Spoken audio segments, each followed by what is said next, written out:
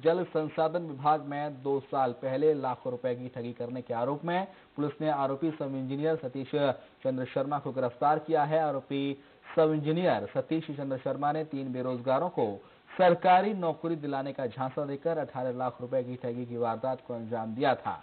आरोपी ने पुलिस भृत्य और टाइम कीपर की नौकरी दिलाने का झांसा दिया था। नौकरी नहीं मिलने पर फरियादियों ने पैसे मांगे तो आरोपी इंजीनियर ने पीड़ितों को फर्जी नियुक्ति पत्र पकड़ा दिया था।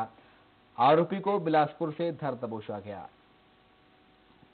फर्जी नियुक्ति प्रमाण पत्र दिए फोटोकॉपी जिसमें हम पता किए तो ये फर्जी बताया गया।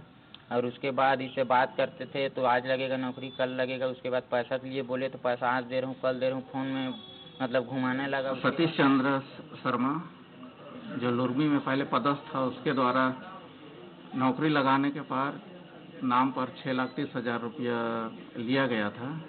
प्रार्थी की रिपोर्ट पर अपराध दर्ज कर, चार सौ बीस एक अपराध दर्ज कर विवेचना में लिया गया था। और बात सरसिया की, जहाँ पर एक